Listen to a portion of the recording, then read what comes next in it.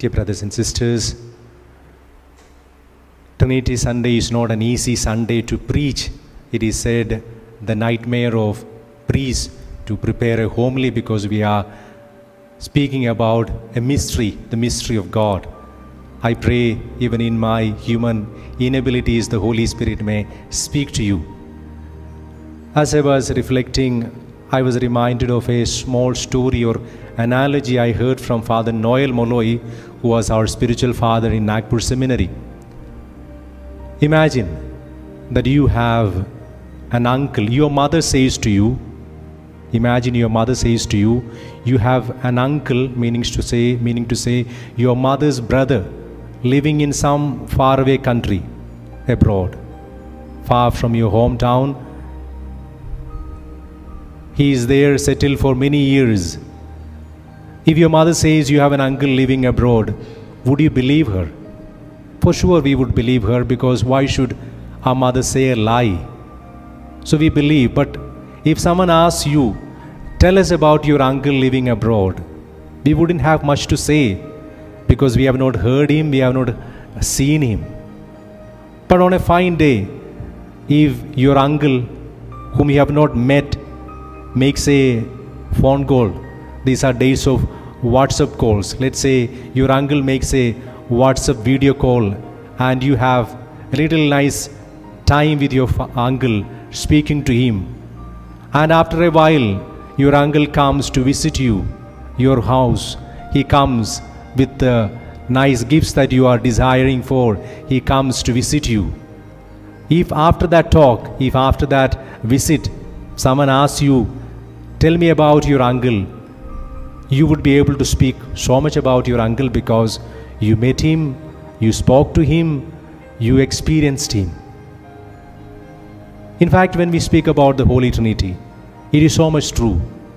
Today, we are not trying to understand a mystery. We are not trying to intellectually grasp a mystery which is beyond our comprehension. The more we try to do that, we are like that boy in the story of St. Augustine trying to empty the sea into a small hole. But if you decide to get into the sea and swim in that sea, you will enjoy the sea. The Feast of Holy Trinity is inviting us to experience Trinity. Trinity is the three divine persons. Our God is one and three persons. We can experience the Father, the Son, and the Holy Spirit. We need to ask ourselves this simple question today Have I experienced Him? Or is He like an uncle about whom I have heard about from someone else? Then He is far away. Let us begin to have a relationship.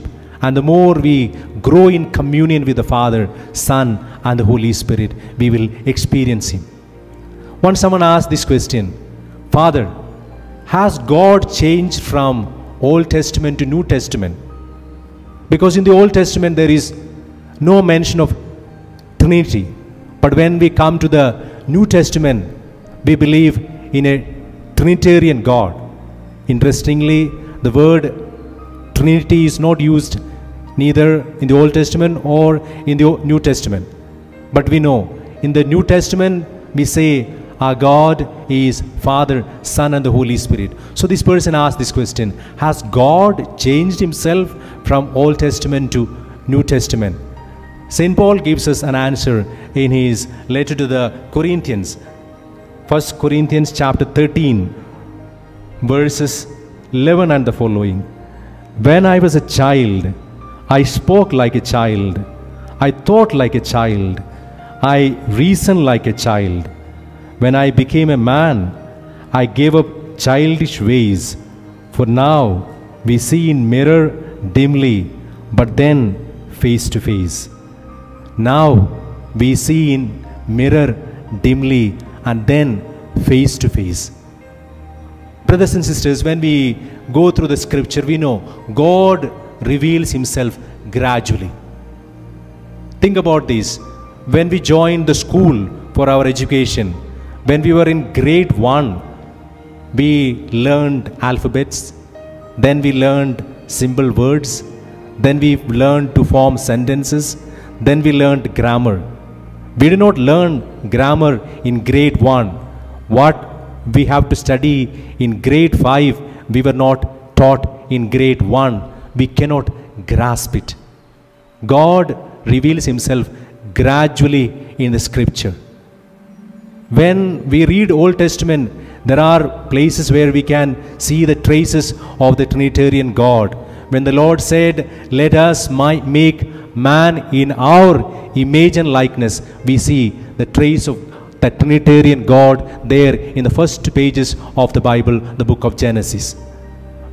Who was the first person who received the revelation that our God is a Trinitarian God? Who was the first human person who received the revelation that our God is a Trinitarian God? Is Trinity, Trinity, that is our Blessed Mother.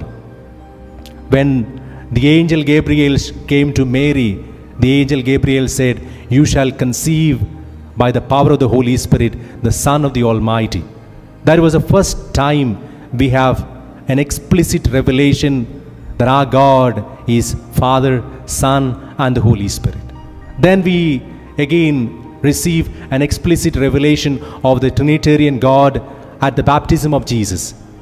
During the baptism of Jesus, we read in the scripture, the Holy Spirit came upon Jesus, the Son, in the form of a dove, and the Father spoke from heaven, Here is my beloved Son, in whom I am well pleased. There we have Father, Son, and the Holy Spirit.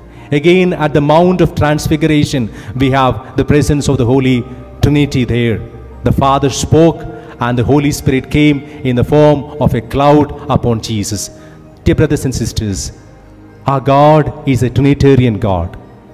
Jesus, after the Last Supper, when he was giving that final discourse to the disciples, Philip asked Jesus this question Lord, show us the Father, that we shall be satisfied. There again, Jesus revealed the mystery of the Holy Trinity, revealing his close communion with the Father and the Holy Spirit. Jesus said, Gospel of St. John, chapter 14, verse 9 He who has seen me has seen the Father. He who has seen me has seen the Father. Again, there, John chapter 14, verse 10, the Lord said, I am in the Father, and the Father in me. And in the same passage, Gospel of St. John, chapter 14, verse 16, I will pray to the Father, and he will give you another counselor to be with you forever. So our God has not changed from Old Testament to God, New Testament. He reveals himself gradually, and today we need to make that genuine effort by relating him relating to him that we know him more personally. Again, another question that often people ask is this Father, I often pray to Jesus.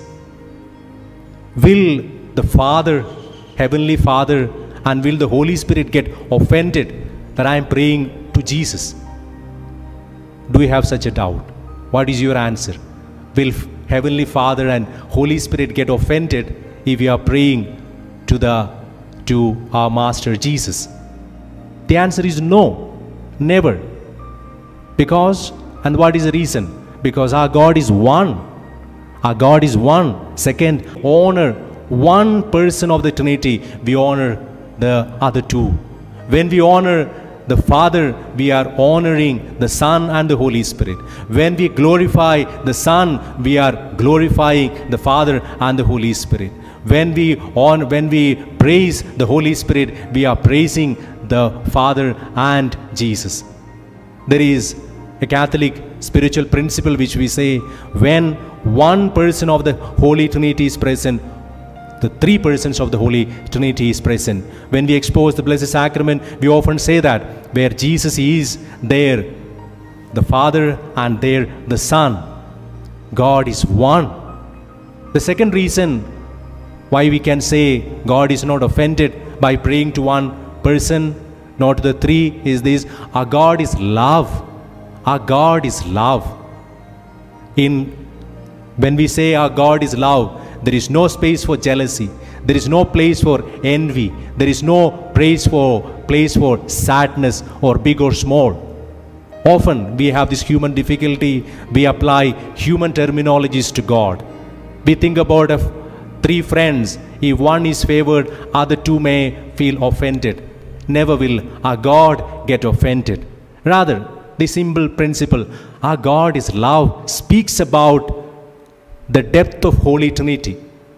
Every religion, every world religion accepts the fact God loves. And indeed, true, God loves.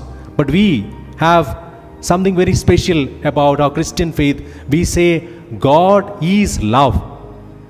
What is the difference from God loves us to God is love? St. John in his epistle says, God is love. What is difference? And I believe as, as the famous Christian authors and uh, uh, great saints teach us, this is where we can understand the Holy Trinity in a simple way. That our God is love. When we say God is love, there is a lover, there is a beloved, and there is the love between the, the lover and the beloved, and that is our Holy Trinity. There is the Father, there is the Son, and the love between the Father and the Son is the Holy Spirit. Our God is love. Dear brothers and sisters, this Lord is inviting all of us to experience His love in our own personal lives. I remember reading what Fulton J. Sheen said about Holy Trinity. In order to understand Holy Trinity, he used this simple example from ordinary life. He said, Think of your chemistry lessons. Water. What is water? The chemical formula for water is H2O. That is the nature. That water can be liquid, that water can be steam, that water can be ice. The nature does not change, but through three relations. When we say our God is one and three persons, what we understand is this the relationship, the three relationships Father, Son, and the Holy Spirit. Yes, we are talking about a mystery. If you ever think you understood Trinity, we are far from knowing Him. We can never ever grasp God with our human intellect, but we can experience Him. And the Lord invites us to experience Him personally. Dear brothers and sisters, in the beginning of the Bible, the Lord said, Let us create man in our own image and likeness. He created us in His image and likeness, meaning to say, we have this unity, this love, this communion within us. At times in our living of the as we as we have lived our life here on this world, we have lost this love, this unity, and this communion. This Trinity Sunday is inviting all of us once again to get back that image and likeness in which God created us by loving, by having communion, and by growing in unity. Amen.